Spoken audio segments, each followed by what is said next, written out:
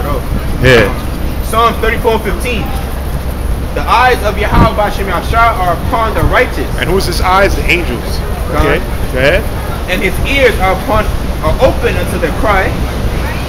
The face of Yahweh Bashem Yahshua is against them that do evil, to cut off the remembrance of them from the earth. These Edomites, man. That's a cut. Go ahead.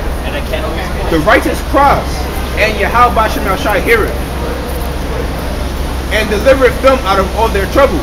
That the prayers, man. Go ahead. Yahweh is nigh to them that are of a broken heart, and save such as be of a contrite spirit. Many are the afflictions of the righteous, but Yahweh Yahshua delivereth him out of all the so the scripture says, many be the the afflictions of the righteous. So we gonna go through shit, man. But it says that what? The, the, the Most High what? But Yahweh Yahshua delivereth him out of them all. He said them all. It didn't say 80%, 85%, 90. It said all. Okay? Read down to verse 22. He keepeth all his bones, not one of them is broken. Not one of them is broken, man. Go ahead. Evil shall slay the wicked, and they that hate the righteous shall be desolate. Hmm. Yahweh Bashem shall redeemeth the soul of his servants, and none of them that trust in him shall be desolate. Yeah. And he had, how do you redeem us now? Through Yahawashi's blood, man. That's why you can't take this truth lightly, man. Because in order for us to have gotten this gift, Yahawashi's blood had to be shed, man. In order for us to get the comforter, Yahawashi's blood had to be shed.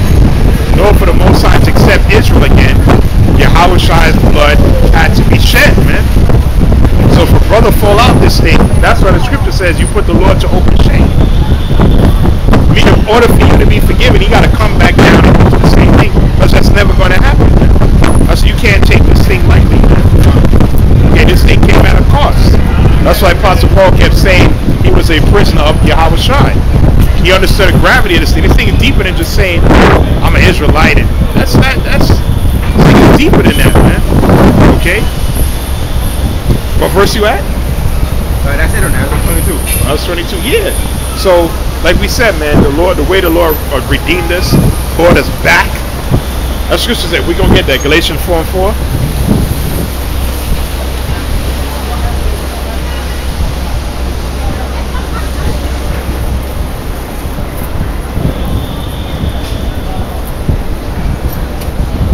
Galatians 4 and verse 4. And it reads, But when the fullness of the time was come, the Most High sent forth his son, made of a woman, under made under the law, So Mary was purified. All right. So that cuts the virgin birth. Go ahead.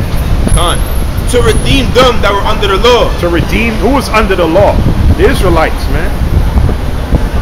See, Yahushua came to redeem those Israelites who were under the law. Now what? That we might receive the adoption of sons. There you go. So if it's become the sons of the Heavenly Father, Yahushua blood had to be spilled. Con, So we that's why you could never fall out this thing, man. Ever. Okay? Because that's gonna be a stain on you.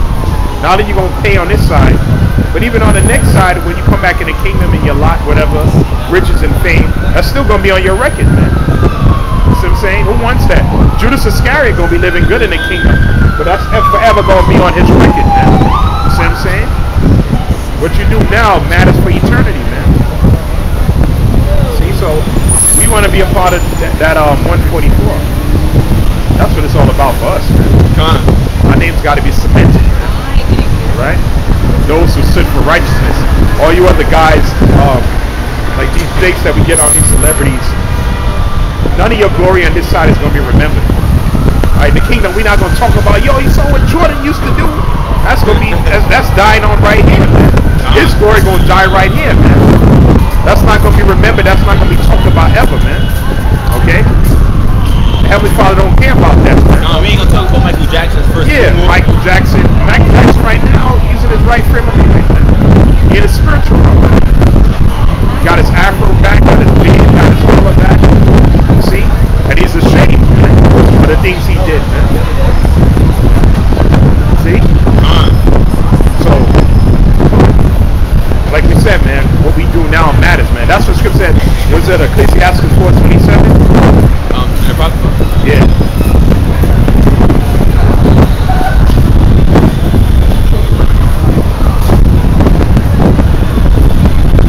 The book of Ecclesiasticus 427. Make not thyself an to a foolish man. Well, that's not a scripture, but that's a good scripture too. Man, you guys follow these false camps, man. Don't make yourself an underling to a foolish man. Because if the blind lead the blind, fall in a ditch. No, keep reading though. Oh, alright. Neither accept the person of the mighty.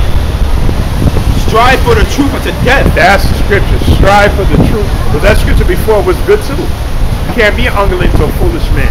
So them people that them dudes is following the IGJC, okay, that clown up there in Harlem, which they um charging him for embezzling money, all right, which he blasphemed the Holy Spirit, talking about he is a comforter, all right. The Most High gonna deal with him, which Oh, he yeah, already yeah. dealing with him. So you just say you can't do blasphemy the Holy Spirit. No Yeah, talking about you, you the God sent comforter, man.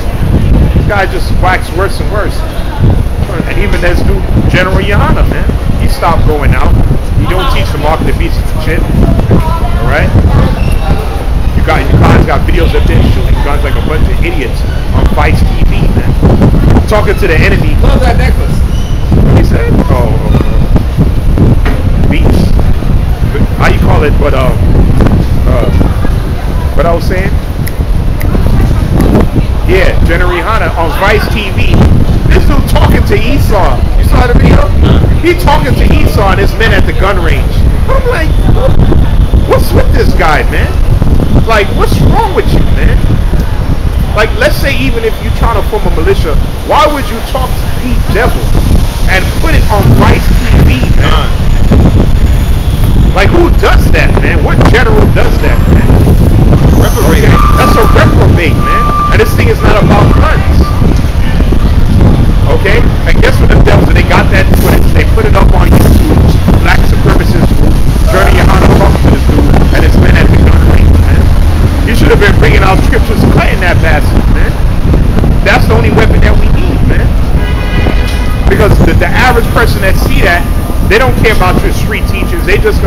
Associate that image. Oh yeah, I did see them on Vice. They were shooting guns. You see? And that's all they gonna think about is the negative, man. All right, that's what my brother saw the dudes doing that. Rebuke them guys, man. If you legally own a gun or whatever the case is, that's your business in your private time. That's not supposed to be displayed and make it a part of the doctrine. You got garments on talking about we got something for Esau. You a clown, man. And they always bring out a scripture out. Is it Luke 22? Where Yahawashi said, they said, um, That's it or not, though? yeah, scripture says, strive for the truth unto death. And Yahweh Bashim Shah shall fight for thee. There you go, man. He's gonna fight for you. So we don't gotta pick up no arms. Right? So that's a cut on that, man. It's not you want to loop. What was it? Luke 22. They always bring the scripture out, and we gonna get what Yahawashi meant. Because people was trying to kill the Mashiach. I think it's Luke 22. Verse 38. Luke 22 and 38, and it reads, And they said, Lord, behold, here are two swords. And he said unto them, It is enough. It is enough, man. Alright? But what happened? And he Let's- came, uh, let's read Matthew 26. Let's jump. They never bring out this scripture, man. It's supposed to link precept with precept.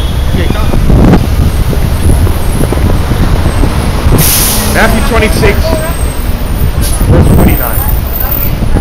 Matthew 26 and verse 49. And forthwith he, he came to Yahawashi and said, Hail master, and kissed him. And Yahawashi said unto him, Friend, wherefore art thou come? Then then came they and laid hands on Yahawashi and took him. And behold, one of them which were with Yahawashi stretched out his hand Peter, correct. And drew his sword and struck a servant of the high priest With that same sword, Yahawashi said, It is enough. And what happened? and smote his ear off, smote off his ear. Huh? Then said Yahawashi unto him, Put up again thy sword into his, into his place. For all they that take the sword shall perish with the sword. There you go. You get that scripture, man? Do Uh. y'all understand that scripture, man? You live by the sword, you die by it. All right? You're up there shooting guns like an idiot, man. What did Yahawashi say after that? Did he say anything? Thinkest thou that I cannot now pray to my Father, and he shall pr- presently give me more than twelve legions of So angels? Peter, put that toy away, man. Put that away, man. Okay? I can call angels down to end this whole thing, man. We don't need that. How, uh, did he say anything else after that? But how then shall the scriptures be fulfilled that thus it must be?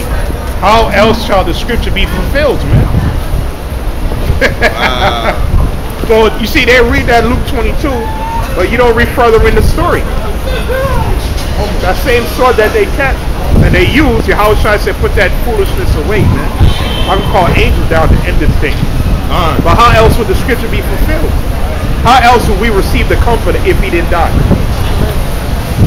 Okay? He's asking, he's asking for 12 legions of angels. Come on, man. And one angel is more than enough.